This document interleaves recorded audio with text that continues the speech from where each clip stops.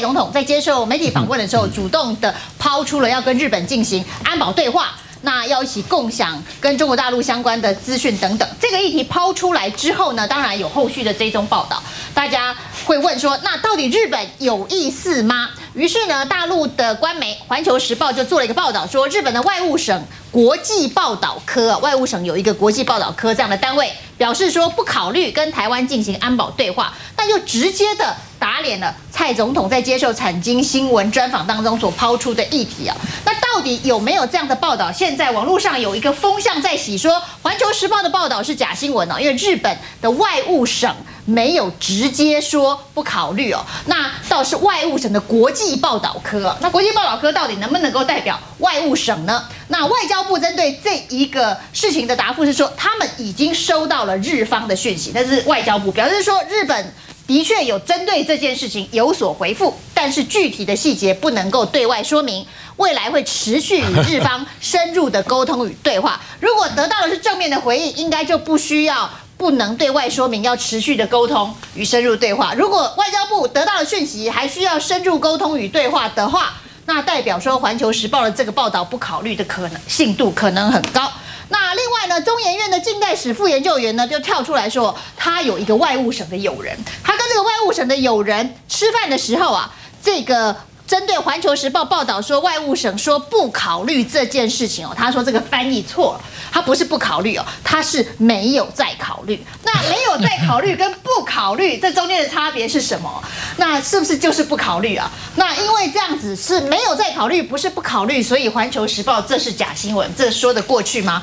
然后呢，我们的驻日代表总是跟日方有管道了吧？外交部都已经得到了一些讯息，那驻日代表却没有任何的讯息。他说有些媒体。引用出处不明的说辞啊，不具名，叫做捕风捉影哦。他只针对《环球时报》说这个是假新闻，捕风捉影。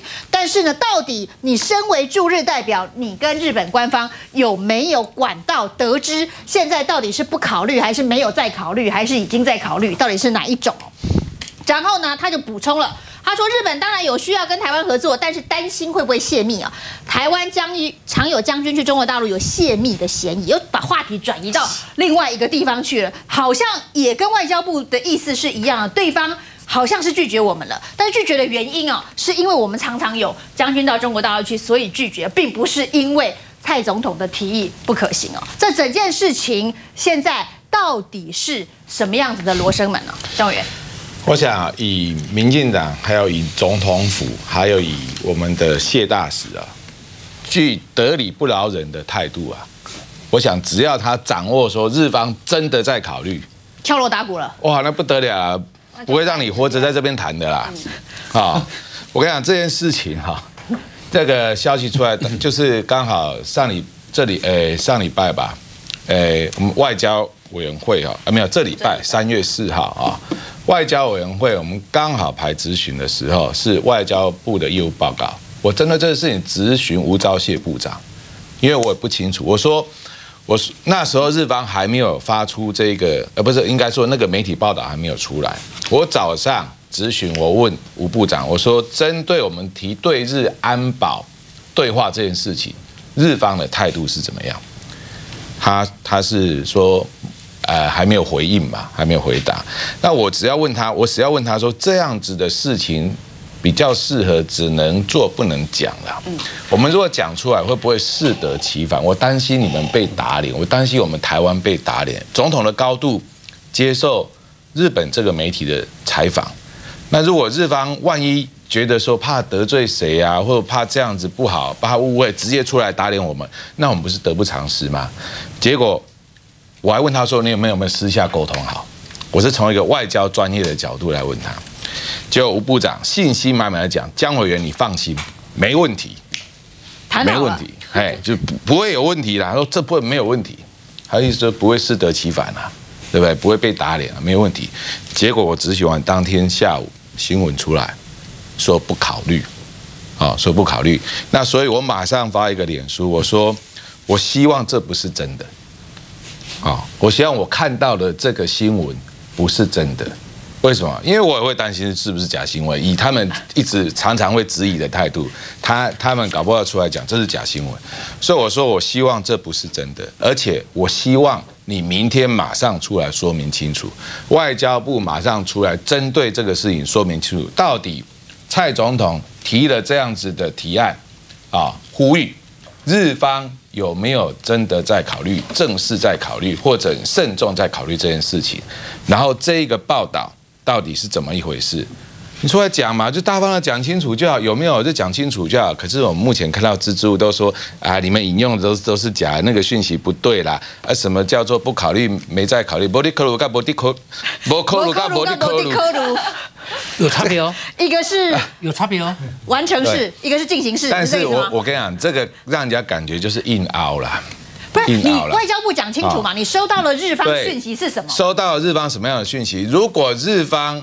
有具体的回应，那是什么嘛？你就跟我们讲嘛，对不对？我觉得日方如果敢跟你外交部回应，那表示那他们他们是有准备好的啊。我准备好什么样的回应给台湾嘛？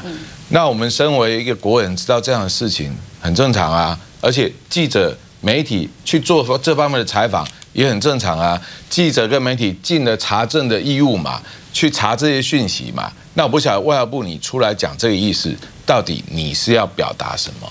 是要表达说，哎，真的这个日方的回应不如我们所预期啊！啊，我现在又讲没有问题，那到底怎么交代嘞？我觉得这个事情啊，谢长廷要发挥他这个我们外派他到这个日本。担任这个驻日代表，他的政治的一个作用啊，因为谢长廷一直强调他跟日本的关系有多好有多好，我觉得他这次一定要发挥作用了。我们外交部也要努力的发挥作用啊，因为我们台湾已经，我们现在做媒体的哦，其实我们已经是压力很大。为什么？因为当这个蔡英文接受这个专访出来的时候啊，呃，《环球时报》大陆的《环球时报》那么就把这个新闻就报道了，说日方的反应是不予考虑，呃，不考虑三个字哦。不是不予考虑，是不考虑这三个字。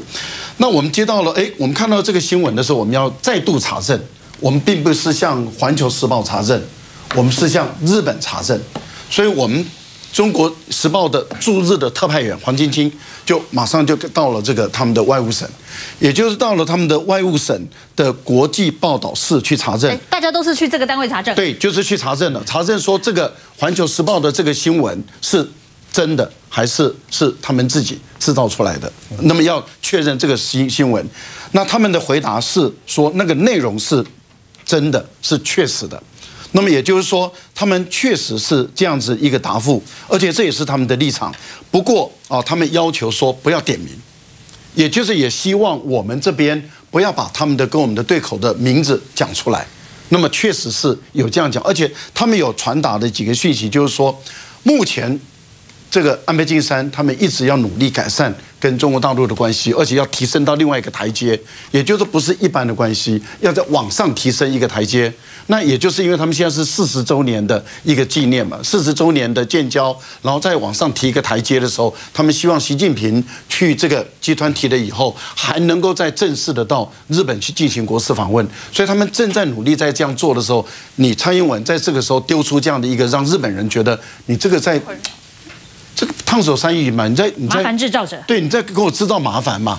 那所以他们的答复是确实证实了《环球时报》的这个新闻为真，那我们也就登出来这个新闻，《联合报》也登出来这个新闻。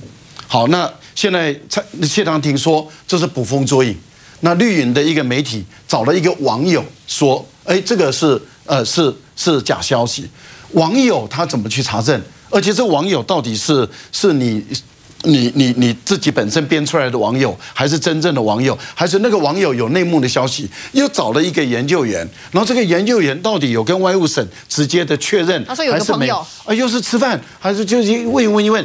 我到目前为止，我们强烈的要求一件事，就是谢长廷应该去要求这个日本的外务省要正式回应国际报道，是正式回应说这个《环球时报》所报道的。是真的还是假的？我觉得这个你谢长廷要做到嘛，你外交部要做到嘛，不要再含糊其辞，就是确实的说这是真的还是假的。那如果今天日本的国际报道是说《环球时报》登的是错误的，我们没有这么说，那你谢长廷，你你你你大功一件嘛。但是如果他们的国际事务报道处说我们就是有这么说，这个确实是真的，《环球时报》登的没有错。那你谢长廷指控别人捕风捉影，那你自己要不要负一点政治责任呢、你是不是又想要在我们我们这边又要给我们制造什么？我们在制造假新闻啊？你是不是又在开始在制造假新闻，然后再联合再联络那个加拿大的什么寇寇密什么东西的 然后呢，Michael 的那个 Michael Michael Cole，然后再去找他，然后再来说我们在台湾都在制造假新闻，我就觉得谁到底在制造假新闻？蔡英文为什么会在二月二十八号讲跟吴钊燮一模一样的话？吴钊燮在去年的时候，那么已经找日本的媒体就讲的一模一样的话对，讲的一模一样的话以后，日本没有任何反应。蔡英文本来也判断日本可能也不会有反应，只要不要有反应，就大家就有想象空间了。没有，大家有想象空间了，就说，哎，呃，我已经公开了对产经新闻，我对于产经新闻右翼的产经新闻，我讲了说台日应该建立一个台日安保对话。产经新闻也配合这个演出，在他们的社论里面呼吁说，日本要跟台湾要建立安保对话。产经新闻的社论也就这样写啊。那他说要接受蔡英文做的球，对，那如果接对，如果日本的外务省都保持缄默，就跟吴钊燮的情况一样，都保持安静，大家的想象空间就很大了。哎，蔡英文的挥洒的空间就出来了。结果人家外务省的国际事务室，而且还一个找一个这么小的一个官，就直接告诉你蔡英文说不考虑，而且《环球时报》把它登出来，我们这边去查证，确实了，我们也登出来。